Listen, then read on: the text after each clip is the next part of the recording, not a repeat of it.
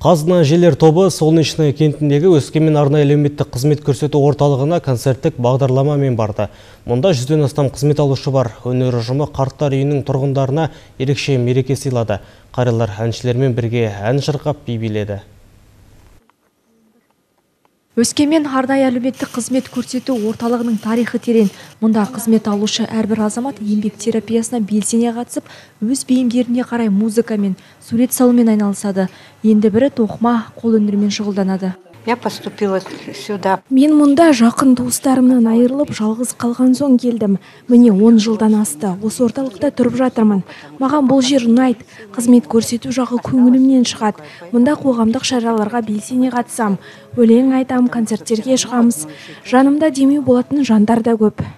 Қарттар үйінде спортпен айналысуға қажетті ем алуға бар жағдай жасалған. Мұнда концерттік шараларды да жиі өткізіп тұрады. Бұл жолы Қазақстан Республикасының мәдениет қайраткері Нәбиолда Кемешевтің бастауымен қазына әжелер тобы мүшелері орталыққа келіп, қарттарға жанды дауыста ән шырқап қайтты.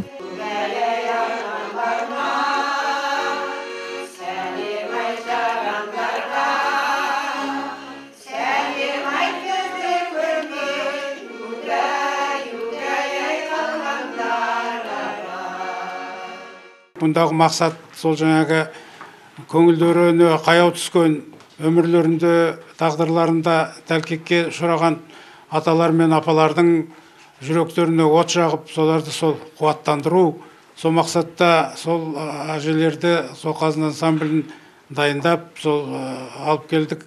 Сондықтан бүгінгі мынау қайырымдылық деп айтуымызға да болады. Қазына әжелер тобы түрлі бағытта ән шырқайды. Шарада топтың белді мүшесі күлсара камалиева жаңа қазақстанның парасатты тұлғасы атты бірінші дәрежелі дипломмен марапатталды. Жеңімпаз атанып келген мінекей Молодец. сондай өнерлі сыйлы ана әнші қазақтың жаңағыдей мықты қызы.